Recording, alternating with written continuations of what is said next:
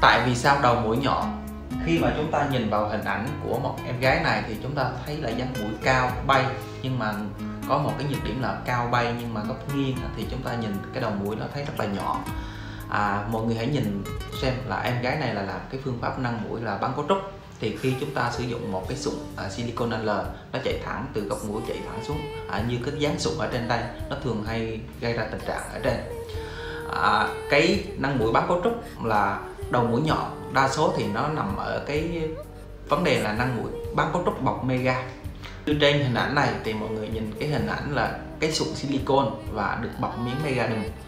Một thời gian sau mega đùm nó có thể là tan đi và nó ôm sát da. Và cái thứ nhất cái thứ hai là mega đùm chưa tan hết hoàn toàn nhưng mà có thể là do trượt sụn.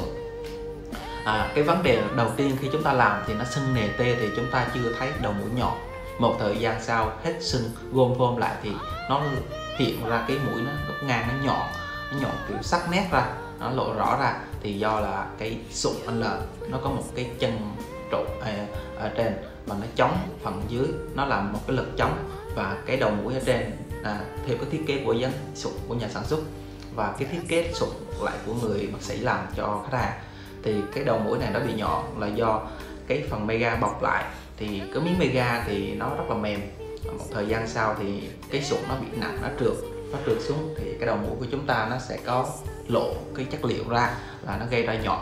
Và nếu như tình trạng bọc sụn tai phần sống mũi này phần đầu mũi này được bọc sụn tai thì nó lại uh, an toàn hơn và nó lại đỡ bị nhọn hơn. À, tuy nhiên nếu như mà cái sụn tai mà được bọc một lớp hoặc là hai lớp mà khi mà trong quá trình thiết kế mà cái sụn tai nó không được gọt cái cạnh vát đi và nó không đúng theo cái phôm của góc mũi và xuống phần đầu mũi nó ra một tạo một hiệu ứng độ dốc mềm mại để tròn cái đầu mũi. Thì à, năng mũi bác cấu trúc bọc sụn tai nó lại bị nhược điểm là một thời gian sau nó lại bị lộ sụn lộ sụn đầu mũi. À, nó vẫn có tròn nhưng mà tròn theo kiểu là lộ à, chất liệu ghép ở đầu mũi. Nên nó đều có cái rủi ro và nó đều có cách làm an toàn. À, nếu như chúng ta làm mà cao quá cao quá mức thì nhưng mà cao quá mức cộng với da của khách hàng mỏng thì tình trạng này nó sẽ xảy ra à, nhanh hơn. À, nên mọi người nâng mũi thì à, tránh trường hợp mà mình mong muốn là da mình mỏng mà nâng cao đầu mũi quá mức thì nó sẽ gây ra những biến chứng. Và sau đó thì chúng ta gặp trường hợp này phải sửa lại ngay. À, chúng ta không nên để lâu mọi người nhé.